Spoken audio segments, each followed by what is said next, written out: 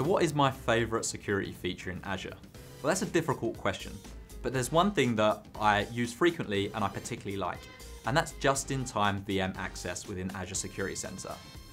This means that we no longer have to open up management ports such as RDP or SSH into our servers from the world or even from my specific IP address. We can have access just in time when we need it.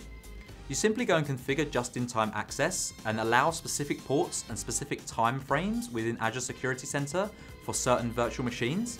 And then when an administrator wants to actually log on to those machines, they can hop into Security Center, they can request access, they can request it for their specific IP, and then they're given access to that server for a limited period of time as defined by you when you set up the policy. This means that even if they forget to go and close out that firewall, firewall rule, after the three hours or whatever the time limit you set is, that rule will automatically close the port so that it's no longer open to the internet. So it's a really neat feature to help us still manage our resources and our virtual machines in Azure, but we can do it in a more secure and controlled way.